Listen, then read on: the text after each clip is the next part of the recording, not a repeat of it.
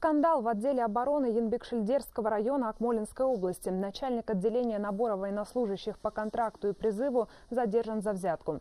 350 тысяч тенге он получил от одного из призывников. 30-летнего старшего лейтенанта сотрудники финансовой полиции поймали с поличным. Его взяли на улице у автомобиля. По данному факту возбуждено уголовное дело по статье 311 УК РК. Установлено, что денежные средства в виде взятки э, в размере 350 тысяч тенге предназначались э, за непринятие мер по оформлению на призыв на срочную службу. Уголовное дело расследуется.